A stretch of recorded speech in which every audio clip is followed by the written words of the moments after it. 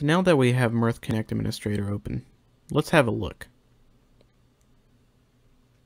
So the default view you're going to get is the dashboard view. So there's two significant portions of the dashboard view. There's a channels list view, and then there's log portion view. We'll mostly be concerned with the channel portion at this at this point. We'll go into the log portion in a little bit. However, you see we don't have any channels to look at right now. That's because we don't have any created. So in order to get the different views, there's a options up here on the Mirth Connect, and you can see the different views that we can look at. We're currently on the dashboard view. But in order to create a new channel, let's go to the channels view. So this is the channels view. This is going to show us all the channels, whether they're deployed, undeployed, enabled, or disabled. We don't have any right now.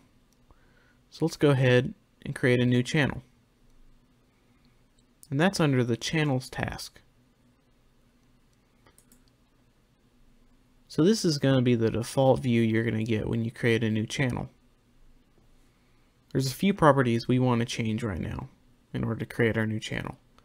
And that's the name and the data types. So let's go ahead and name our channel. Let's name it our first channel.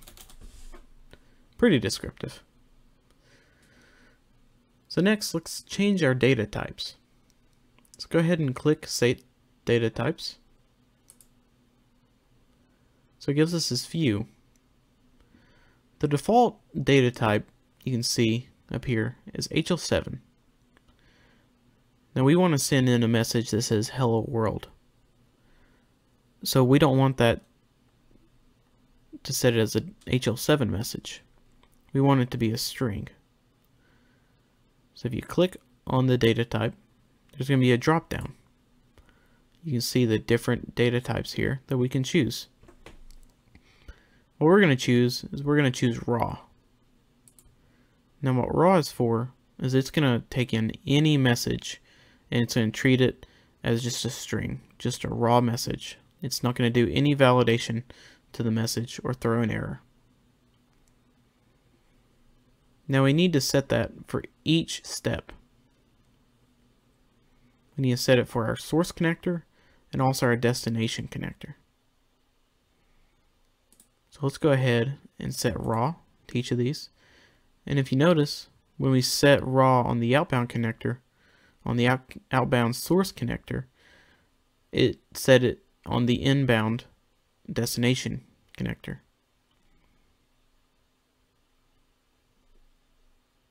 Now let's change the outbound destination to raw again. And let's click OK. Alright, now we need to save our changes.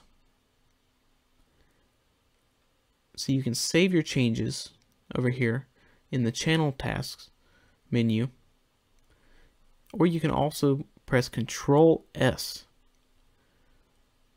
I'll press control S quite a bit. Let's save our changes. So now we need to deploy our channel. We're ready to deploy and send a message to it. So you can deploy it. Are you sure you want to deploy this channel? Yes.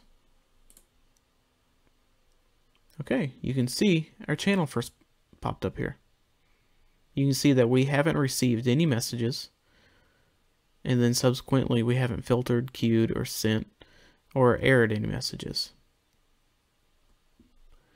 So let's double click into the channel and see what we get. So that's going to pull up the message view for the channel.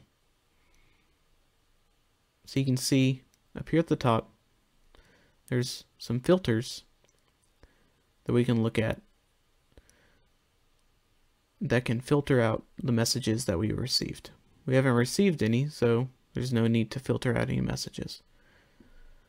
But this is going to be where you see all your messages. And then this is going to be where you see all the message content. So let's go ahead and send a new message. In order to do so, there's two ways. You can right click here in the channels view and send message. And that's going to pop up with this text area where we can insert our message. Or you can go back to the dashboard view and click on your channel, right click, and there's also also the send message option as well. So let's go ahead and click on that and we'll type in hello world. Once you're done with that, you can press process message. So what, so what that's going to do is that gonna, that's going to send to our message or send to our channel and our channel is going to do with it what it wants. Process. Now you can see we received one message. None were filtered, none are queued, and one was sent. So let's go back into our first channel. You can see we have the message. So the source is going to be where it was first received, and the destination is going to be the destination that it went to. So if we click on source, you can see down here we have the, the message content we have different options. So what raw is, is it's going to be the raw message that we received. So it's going to be without any processing to the message. Encoded is going to be what was changed about the message. You can also click on destination Destination has raw and encoded as well. Usually the raw is just going to be the encoded version of the source. So we can see if we click encoded as well, it's going to be the same thing because we haven't changed any part of the message. You can click on sent. So that's going to show where it was sent. So right now we're not sending it to any anywhere. We're just sending it to a blank channel and then the content. Also, we can see the response. So if there was any channel we sent to it, then when did we get that response back? So this is the end of our first channel. Next we'll go into more of the views and go into all the different views we have here.